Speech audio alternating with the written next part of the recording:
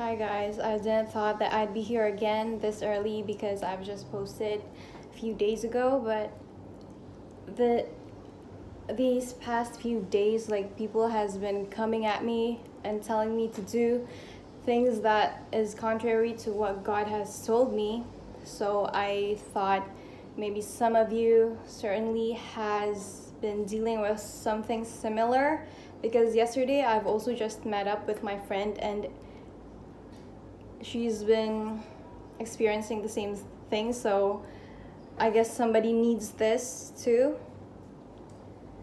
While it is wise to listen to people's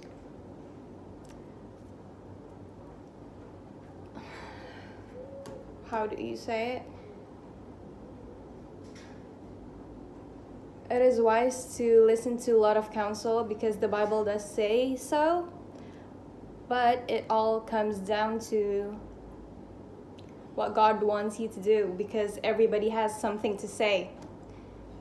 And it's just been so annoying because, like, stop telling me what to do.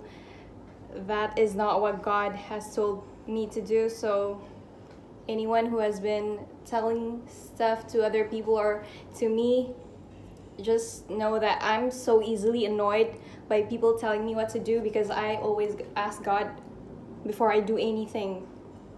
And it doesn't mean that you can't correct me if I'm wrong, but just be mindful if what you're saying is from God or not because I, I will respond to you if you say something to me. I, I would not respond I would ask God right away, God, is what this person is saying is from you or not?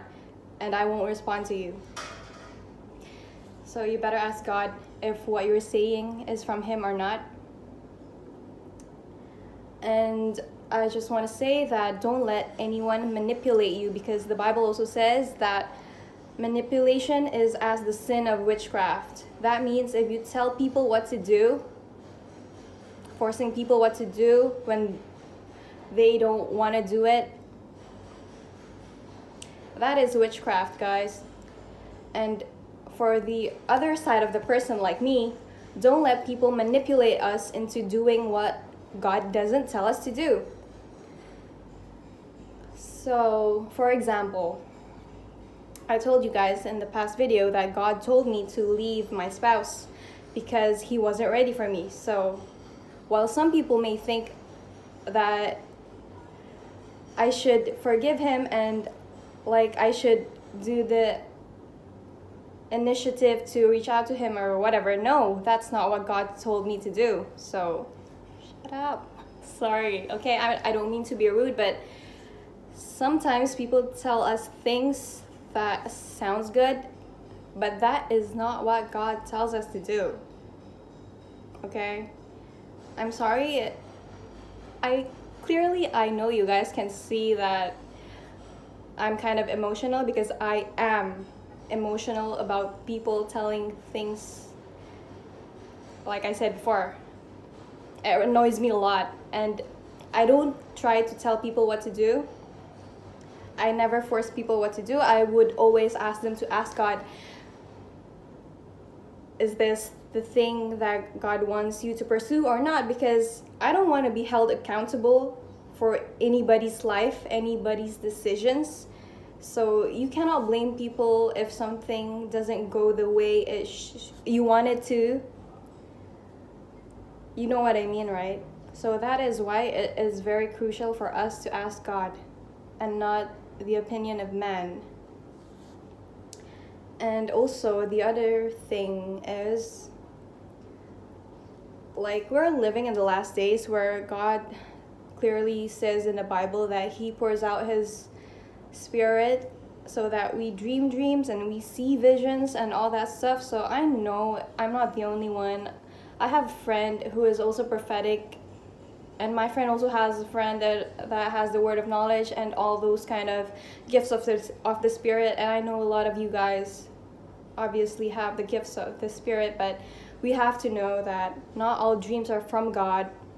So if you get a dream and then you base your life from that dream like, "Oh God, what does this dream means?" but it's actually maybe just God letting you know something to pray for it and it doesn't mean that all of this is going to happen like we we can see from the story when jo when Jonah went to Nineveh and he was going to tell that God is God's anger or God's anger is going to destroy them or whatever but it didn't happen because the Nineveh repented so does it mean that it was a false prophecy no because God told him to say that so that the people repented. You know what I mean?